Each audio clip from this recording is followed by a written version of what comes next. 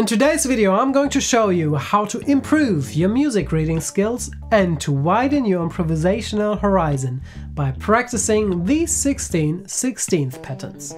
At the end of the video I'm also going to give you a bonus tip on how to approach cross rhythms, so make sure to watch the whole thing. Bass hack coming up.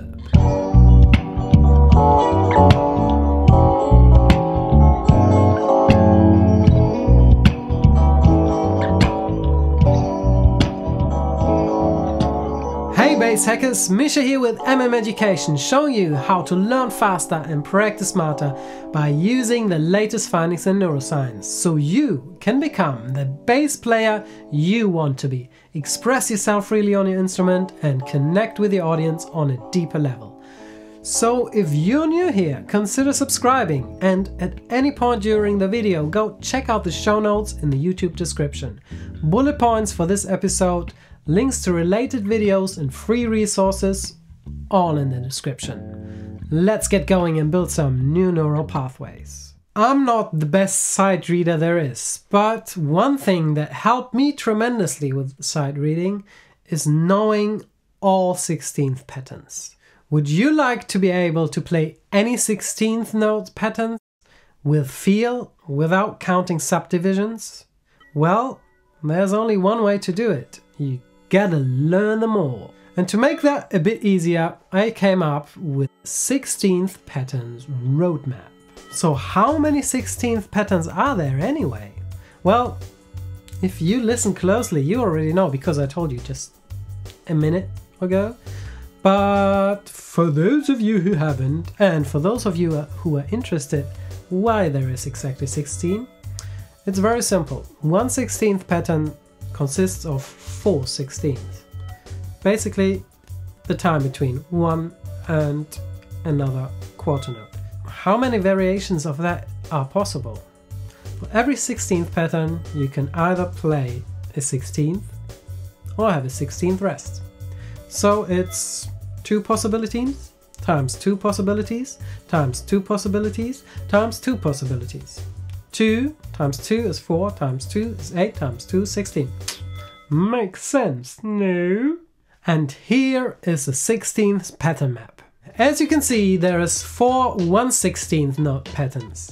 There are six 2 16th note patterns. There are four 3 16th note patterns, one with 4 and one with 0. To make sure that you can play all of these patterns equally well, go through all of them one by one at a moderate tempo.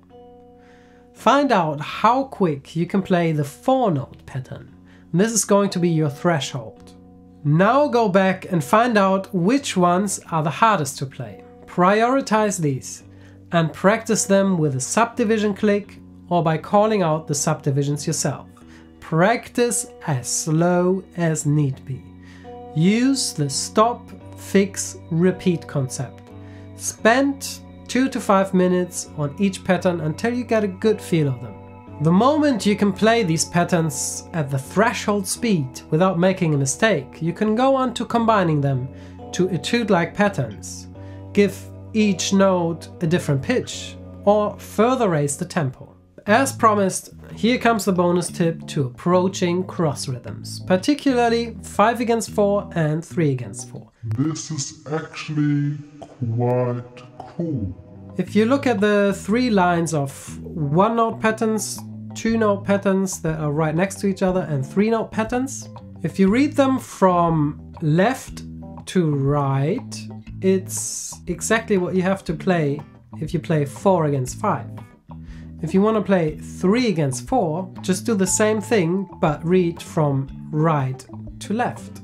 Here's one example of 5 against 4. I'm just going to go through the line from left to right of the two adjacent 16th notes. So I have a pattern of two 16th notes and then three 16th rests. One, two, three, four,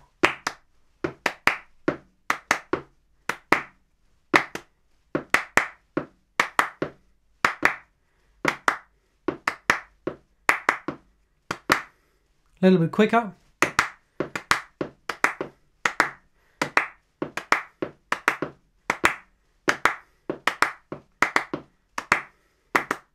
Then we can do the same thing with 3 against 4. Just reading from right to left now. Still going to start on the first pattern just because it's so nice to start on the 1. But then I'm going to jump right to the fourth pattern and go backwards from there. So this one's going to be like this. one, two, three, four.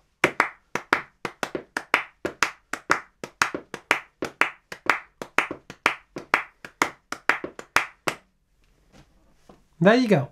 Cross rhythms to go.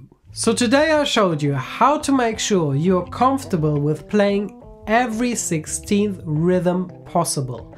And I gave you a rock solid approach to get there ASAP. So now it's up to you to not just take in the information, but instead create new neural pathways by applying the newly gained knowledge. Question of the day. Which is your favorite 16th note bass line? Let us know in the comment section.